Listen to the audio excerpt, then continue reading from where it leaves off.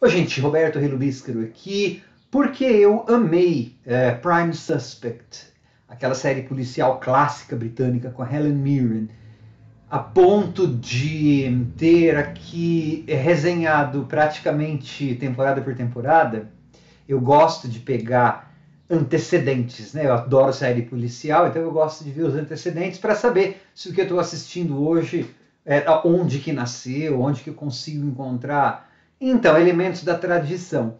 Como eu amei, então, é, Prime Suspect, eu fui ver Trial and Retribution, que teve 12 temporadas, tá? É, eu vou resenhar as seis primeiras, já explico por quê.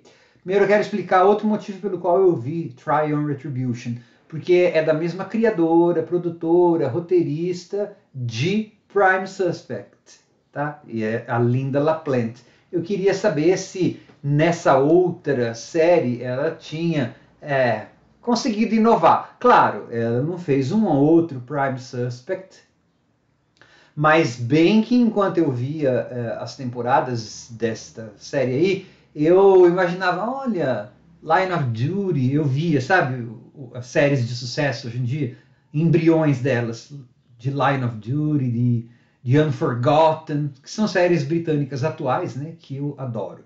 Antes de continuar comentando, gostaria de convidá-los a se inscreverem no canal Robertando, curtir vídeos, compartilhá-los. Eu agradeço bastante. Então, gente, eu vou falar das temporadas 1 a 6, porque formal e tematicamente elas representam um ciclo. Formalmente, porque é, eram dois episódios de mais de uma hora e quarenta cada. Então, cada temporada você tinha praticamente uma minissérie, laconicamente intitulada Trial Retribution 1, Trial Retribution 2, em algarismo romance. E tematicamente também é um ciclo porque tem um protagonista que é o DCS, Detective Chief Superintendent. É Mike Walker, baixinho, magrinho, escocês. E durante essas seis primeiras temporadas, ele faz par tá, com a detetive inspetora D.I. Pat North. Então, o, é, o que acontece é assim: as, as histórias são independentes. Você não precisa começar a assistir né, da primeira, segunda, na ordem. Só que se você assistir na ordem e mais ou menos próximo, você vai ter detalhes do relacionamento do Mike né, com, a, uh, com a Pat. Eles começam a trabalhar juntos, aí depois tem uma outra temporada, eles já estão vivendo juntos, aí tem uma, um, um outro episódio, por exemplo, em que ela dá uns. Ela sobe na carreira mais do que ele, enfim. É, a parte dos, da, do, do conteúdo policial, você também tem essa parte da vida dos dois, tá? É, o Mike, na verdade, o centro é só o Mike, porque a Pat, ela nem família tem, né? É, o Mike tem a ex-esposa, que em uma das tramas vai ser central, enfim, tem aquela coisa. Por que que Trial Retribution é bom? Porque é, eu achei, tô achando ótima. Porque assim, é, os shows policiais, geralmente eles têm lá tem um crime e o detetive resolve e, ou não. É, o cara, a pessoa vai presa ou não.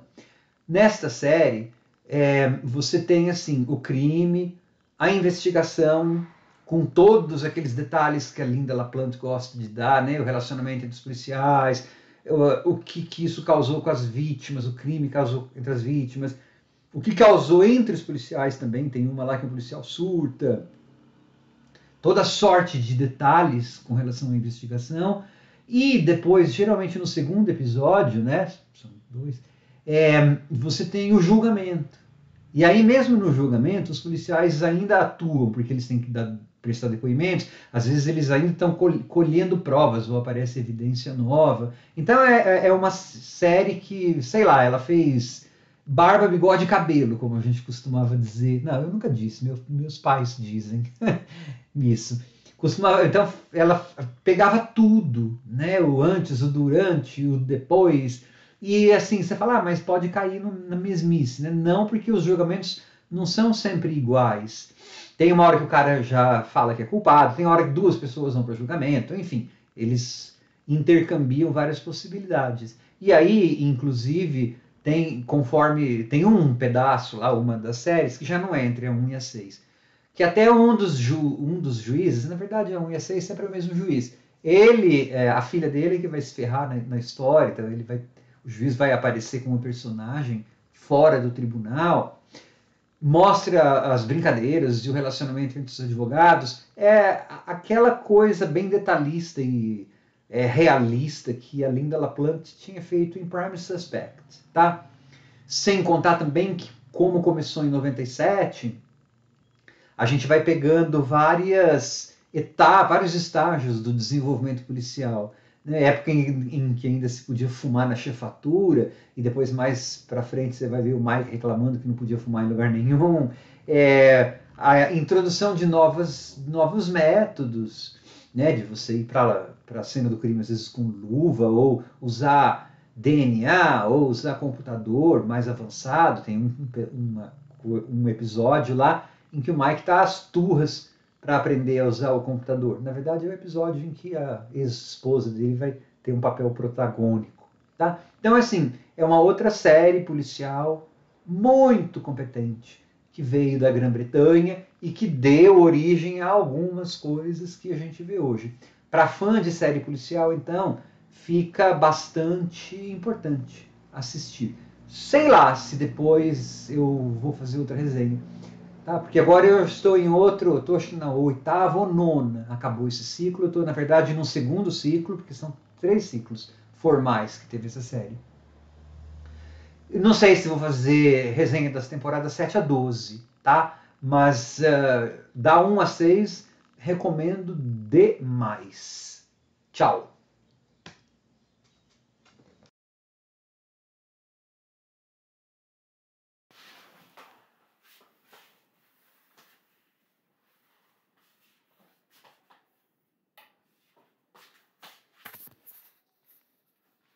Hum, já vou, já vou, já vou ver. Eu tô